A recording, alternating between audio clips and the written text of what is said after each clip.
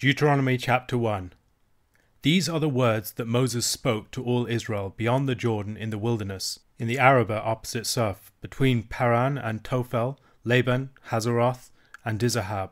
It is eleven days' journey from Horeb by way of Mount Seir to Kadesh Barnea. In the fortieth year, on the first day of the eleventh month, Moses spoke to the people of Israel according to all that the Lord had given him in commandment to them, after he had defeated Sihon the king of the Amorites who lived in Heshbon, and Og the king of Bashan, who lived in Ashtaroth and Edrei.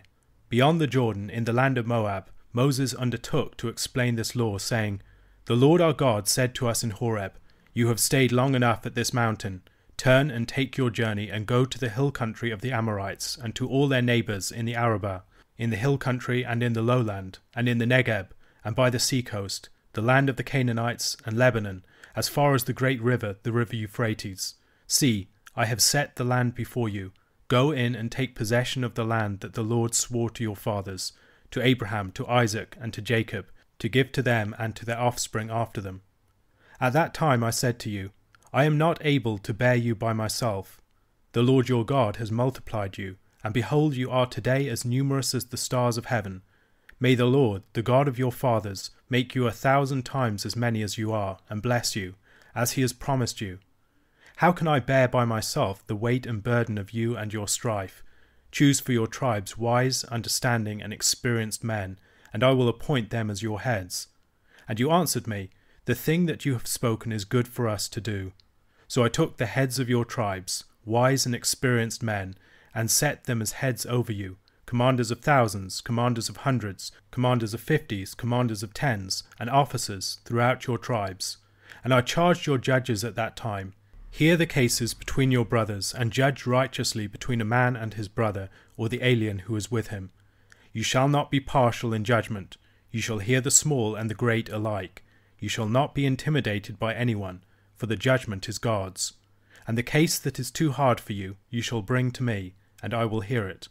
And I commanded you at that time all the things that you should do. Then we set out from Horeb, and went through all that great and terrifying wilderness that you saw, on the way to the hill country of the Amorites, as the Lord our God commanded us. And we came to Kadesh Barnea, and I said to you, You have come to the hill country of the Amorites, which the Lord our God is giving us. See, the Lord your God has set the land before you. Go up, take possession, as the Lord, the God of your fathers, has told you. Do not fear or be dismayed. Then all of you came near me and said, Let us send men before us that they may explore the land for us, and bring us word again of the way by which we must go up, and the cities into which we shall come. The thing seemed good to me, and I took twelve men from you, one man from each tribe.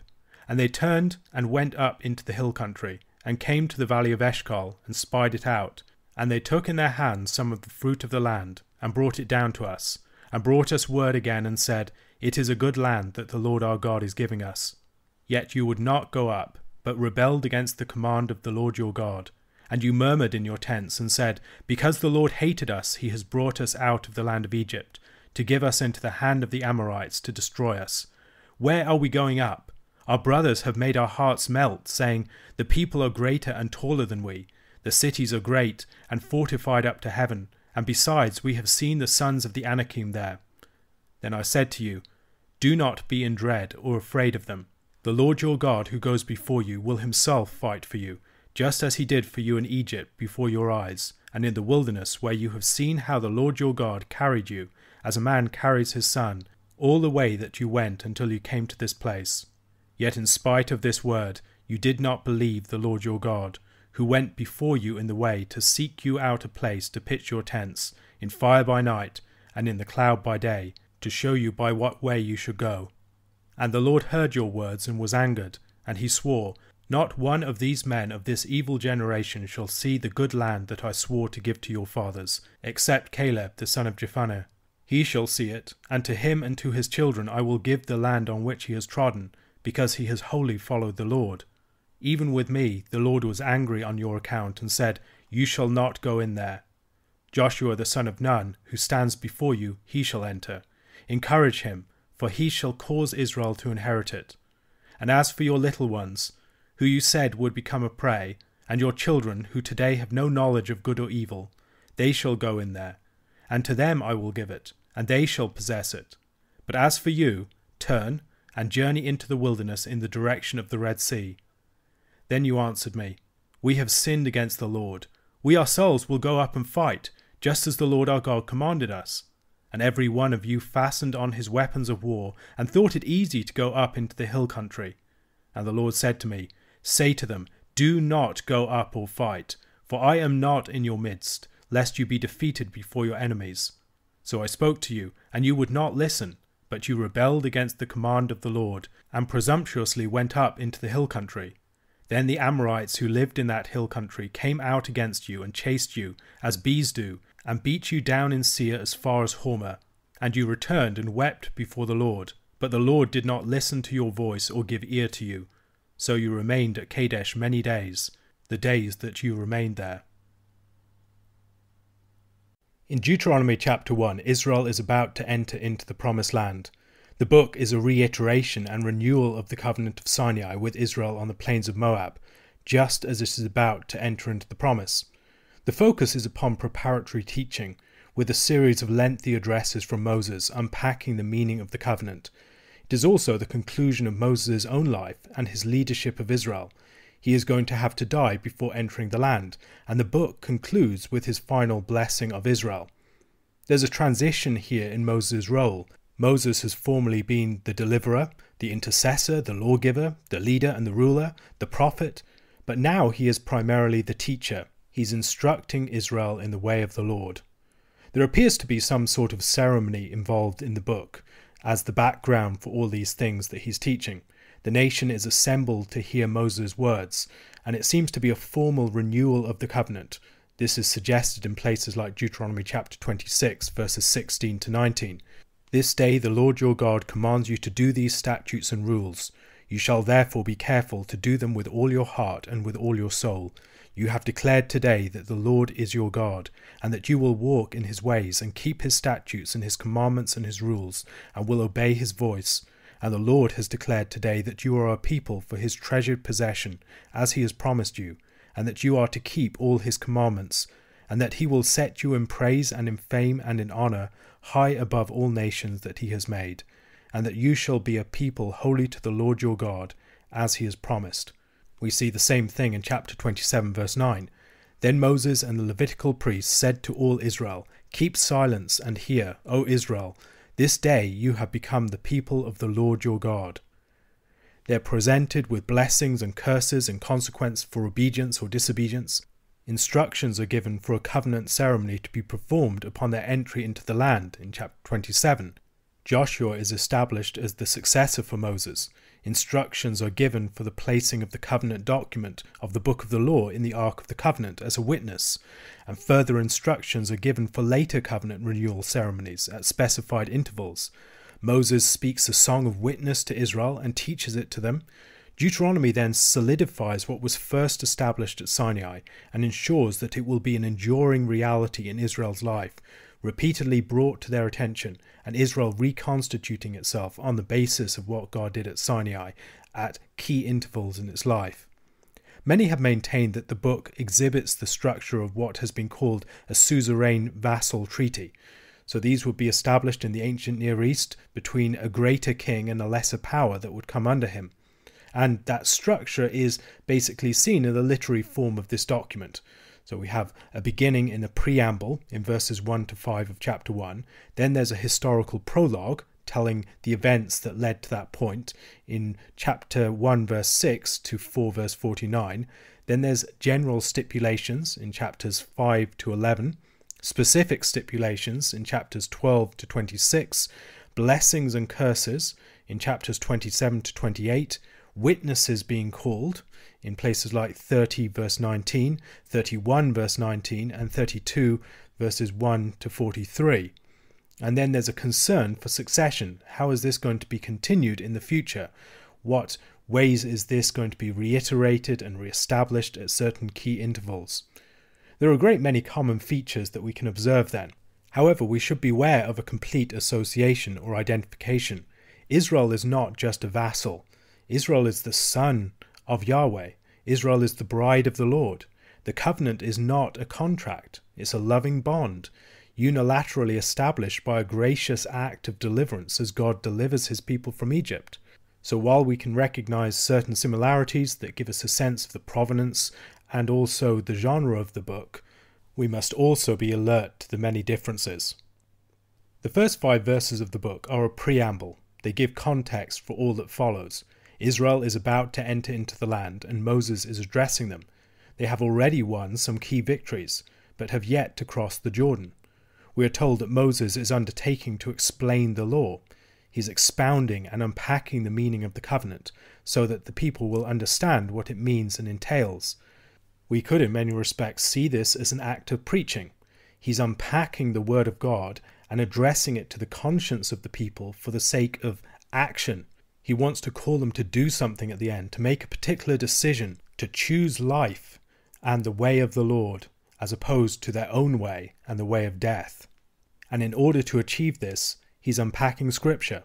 The law of Deuteronomy is the law that we find at Sinai, much more unpacked and illuminated the rest of Deuteronomy chapter 1 recounts the experience of Israel to that point, beginning at Horeb or Sinai, when the Lord charged them to move on from the mountain and take possession of the land.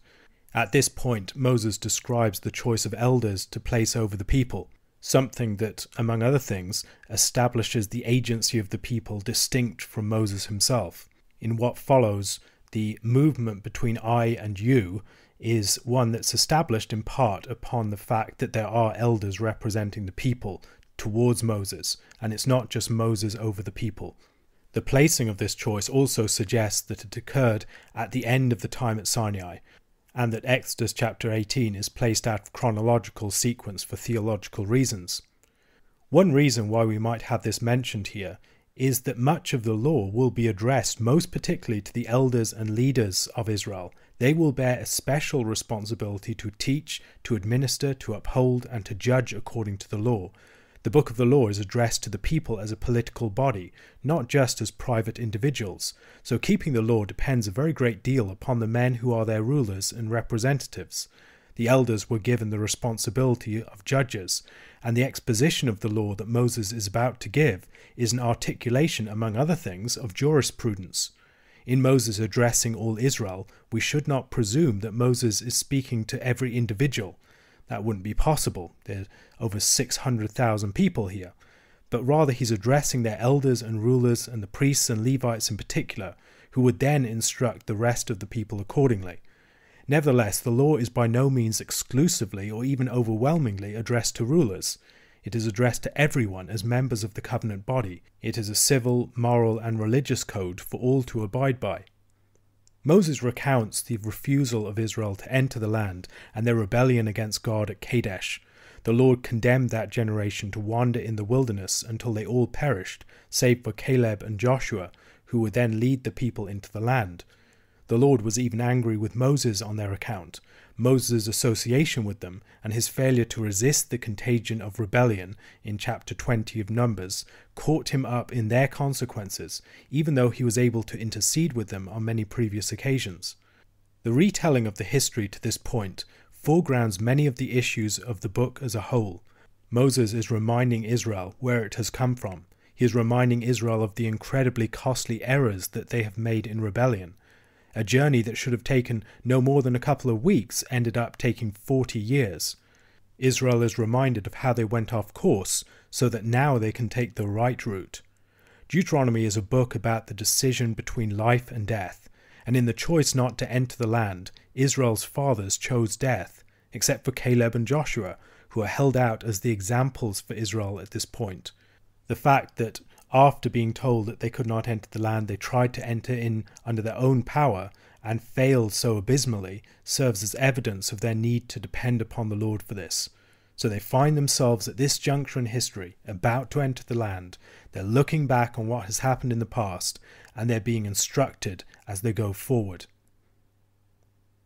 A question to consider what might Deuteronomy chapter 1 highlight for us about the importance of reflecting upon the past within the task of obedience. Luke chapter 2, verses 1 to 21. In these days a decree went out from Caesar Augustus that all the world should be registered. This was the first registration when Quirinius was governor of Syria, and all went to be registered, each to his own town. And Joseph also went up from Galilee, from the town of Nazareth, to Judea, the city of David, which is called Bethlehem, because he was of the house and lineage of David, to be registered with Mary his betrothed, who was with child. And while they were there, the time came for her to give birth. And she gave birth to her firstborn son, and wrapped him in swaddling clothes, and laid him in a manger, because there was no place for them in the inn. And in the same region there were shepherds out in the field, keeping watch over their flock by night. And an angel of the Lord appeared to them, and the glory of the Lord shone around them, and they were filled with great fear. And the angel said to them, Fear not, for behold, I bring you good news of great joy that will be for all the people. For unto you is born this day in the city of David a Saviour who is Christ the Lord. And this will be a sign for you you will find a baby wrapped in swaddling clothes and lying in a manger. And suddenly there was with the angel a multitude of the heavenly host, praising God and saying, Glory to God in the highest, and on earth peace among those with whom he is pleased. When the angels went away from them into heaven, the shepherds said to one another, Let us go over to Bethlehem and see this thing that has happened, which the Lord has made known to us. And they went with haste and found Mary and Joseph, and the baby lying in a manger. And when they saw it, they made known the saying that had been told them concerning this child. And all who heard it wondered at what the shepherds told them. But Mary treasured up all these things, pondering them in her heart. And the shepherds returned, glorifying and praising God for all they had heard and seen, as it had been told them. And at the end of eight days, when he was circumcised, he was called Jesus, the name given by the angel before he was conceived in the womb. Luke chapter 2 begins with a census of the whole world by Caesar Augustus. This sets Luke's story within the context of the wider empire of Rome, much as the later story of Israel in the Old Testament is placed within the context of larger empires such as Assyria, Babylon, the Medo Persians, as the influence of Israel and the Lord is felt throughout the wider world that Israel inhabits. Luke's narrative in Luke and Acts will conclude with Paul in Rome, by mentioning Rome at this point, this wider world provides a backdrop for the gospel, even though most of the action within it will be contained within Israel's borders and population. It also makes clear that Israel is under foreign control. Under the shadow of Roman rule, an heir of David is returning to the city of David. Much ink has been spilt on the subject of Luke's census, as there immediately seems to be a number of problems. First of all, Quirinius was not the governor of Syria at the time of Jesus' birth. Second, there's no evidence that people would have to return to their ancestral town to be registered, or that Mary would need to accompany Joseph. And third, Judea wouldn't be included in such a census because it was a client kingdom of the Romans, under the rule of Herod the Great. While I won't get into all of these issues here, here are a few observations in response. First of all, it's likely that Bethlehem was not just Joseph's ancestral home, that it was his family home. Mary's home was in Nazareth, where Joseph had gotten betrothed to her. They then moved down to Bethlehem together, as their initial home as a couple, as Joseph presumably owned property and had family there. This was where he came from. Joseph takes Mary with him because Bethlehem is his family home, and he intends that having been betrothed in Nazareth, they marry and settle in Bethlehem. The census provides the occasion for this, but he goes back because that's where he owns property, that's where he belongs. Later, as we read in Matthew chapter 2, they move back to her hometown of Nazareth for the safety of the infant. And there we get the impression that Joseph and Mary belonged in Bethlehem. They weren't just visiting there for a short period of time. Perhaps the best explanation I've found for the census is that advanced by Stephen Carlson, who argues that Augustus's census was not a once off general census, but that Luke is referring here to a larger census policy. The reference to the first registration when Quirinius was governor of Syria is better translated, he argues, as this became a very important registration when Quirinius was governing Syria. Now, why would he refer to this? Because the 6 AD census under Quirinius was the time and context of the rise of Judas the Galilean and his resistance to the Roman Empire. He started the movement of the Zealots, which eventually led to the Jewish war with Rome in the late 60s AD. This was a hugely important event within people's memory, and it's referred to elsewhere in Scripture in Acts chapter 5, verse 37, further evidence that Luke had some idea of the relevant history. In Acts 5:37 he writes, "After him Judas the Galilean rose up in the days of the census and drew away some of the people after him. He too perished, and all who followed him were scattered." Other options have been suggested. Some have suggested two periods of office for Quirinius, Perhaps one of the most important things to bear in mind here is the limited character of much of the historical evidence that we are working with, and how often we are in danger of jumping to conclusions on the basis of silence or very limited evidence. There are a great many occasions where skepticism about the historical veracity of details in the Gospels has been challenged by later emergence of evidence that directly supports them. The infant is wrapped in swaddling clothes and laid in a manger, because there's no room for them in the inn. We've all seen nativity plays in which the innkeeper turns away Mary and Joseph. Usually, the assumption is that there were such crowds of people in the town for the census that they didn't have space in all the lodgings. This is almost certainly mistaken. Joseph is just a young man returning to his family home, not to his ancestral home. There wouldn't be that much movement around, nor should we expect that the registration was all occurring on a single day or a short succession of days. These censuses could last many years, they weren't just over a period of days. Others have imagined that there was some sort of prejudice against Mary and Joseph, and so the innkeeper didn't let them in. But there is a far simpler answer. There was no inn, and there was no innkeeper. It doesn't even need to mean that there was no room in the family guest room so that they had to camp out with the animals, although it could mean that.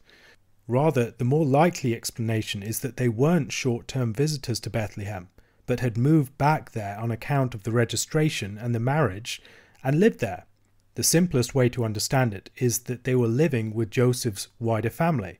They would have a smaller marital room attached to the house, but that room didn't have room for her to give birth, and so they had to relocate to the main room of the house where the animals would also be present in order to give birth. When he's born, Jesus can then be placed into one of the feeding troughs of the animals. While fishermen are prominent in the New Testament, in which the gospel goes out beyond the land to reach the Gentile peoples, shepherds dominate in the Old Testament. The patriarchs were shepherds, they were distinguished from the Egyptians by that fact. Moses was a shepherd, as was David. In a familiar Old Testament image, both God and the leaders of Israel were regarded as shepherds of the people, with the nation as their flock. See that in Psalm 23, or in Jeremiah chapter 3, verse 15, or 23, verse 1 to 4, and most strikingly, perhaps, in Ezekiel chapter 34. Moses was a shepherd, and he delivered Israel from Pharaoh as a shepherd, using a shepherd's rod to strike the enemy of his people and leading Israel through the wilderness like a flock. This is the way it's described in Isaiah chapter 63, verses 11 to 13. Moses' first encounter with the Lord was while keeping watch over his father in law's flock. He saw an angelic appearance with glory phenomena, something that probably occurred at night, considering the appearance of fire, and he was given the further sign that he would later worship the Lord on Mount Horeb with the people after bringing them out of Egypt. The shepherds in Luke are watching their flocks when they are given a glorious angelic appearance, accompanied with the glory of the Lord, and are also given a further sign. And I think we should notice the parallels between Exodus chapter 3 verse 12 and Luke chapter 2 verse 12. In Exodus, and this shall be the sign for you that I have sent you. When you have brought the people out of Egypt, you shall serve God on this mountain. In Luke chapter 2 verse 12, and this will be a sign for you. You will find a baby wrapped in swaddling cloths and lying in a manger. The contrast within the parallel is striking, however. The sign received by Luke's shepherds is that of a baby wrapped in swaddling cloths, laid in a manger. The sign given to Moses, the pyrotechnics of Israel's encounter with and worship of the Lord at Sinai, is eclipsed by the sign of an infant in a feeding trough. In both cases, shepherds are led to an encounter with the Lord. In the first, the Lord is shrouded in the dread darkness of the thundering and fiery glory cloud, and in the second, he has come as a swaddled child in a manger. The significance of the sign of the swaddled child in a Bethlehem manger being given to shepherds probably arises from Old Testament prophecy. The Old Testament foretold the coming of a messianic shepherd from the line and the town of David. Ezekiel chapter 34, verse 23 And I will set up over them one shepherd, my servant David, and he shall feed them. He shall feed them and be their shepherd. In Micah chapter 5, verse 2 to 5 But you, O Bethlehem Ephrathah, who are too little to be among the clans of Judah, from you shall come forth for me one who is to be ruler in Israel, whose coming forth is from of old, from ancient days. Therefore he shall give them up until the time when she who is in labour has given birth. Then the rest of his brothers shall return to the people of Israel, and he shall stand and shepherd his flock in the strength of the Lord, in the majesty of the name of the Lord his God. And they shall dwell secure, for now he shall be great to the ends of the earth, and he shall be their peace. An infant in a sheep's manger in Bethlehem, the town of David's own birth, is a sign that she who is in labour has brought forth. We can hear the story of Rachel in the background of Micah's prophecy.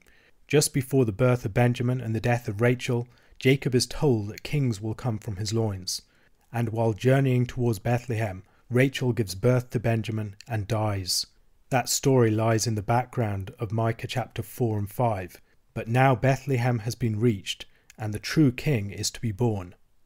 The shepherds, symbolizing the leaders of Israel, encounter the promised great shepherd. However, there's a surprise. The one who was to feed the people as his flock is himself in the feeding trough.